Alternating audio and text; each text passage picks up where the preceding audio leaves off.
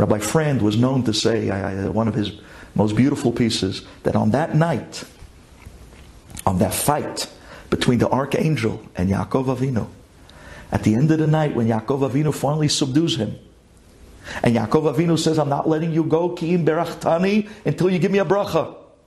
And then Yaakov Avinu, and he asks Yaakov, what's your name? And he gives him the name Yisrael. And then Yaakov Avinu turns around and he asks the Sar of Esav, what's your name? And you know what he answers him?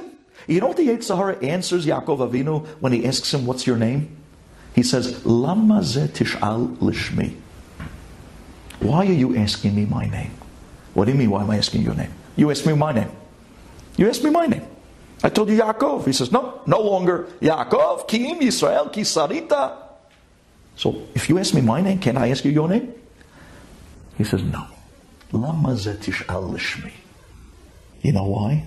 Because the Gemara says, Shemo Kenhu, the name of somebody is his essence. Says the Yetzer my name changes from generation to generation.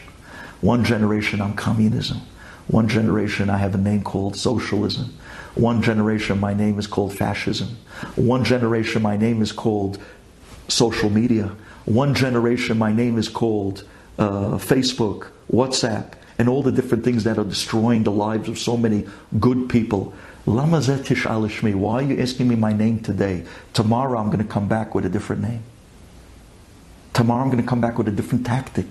One generation, he tried to get them to sin on the outside. The other generation, he brought them mitzvot, trying to get them to sin on the inside.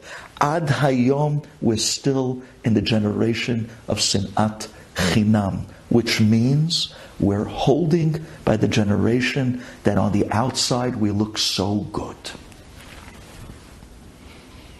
We're making Siyum Hashas with hundreds of thousands of people, and we're still sitting in Galut for close to 2,000 years because on the inside, we're still lacking the kashrut. Unbelievable.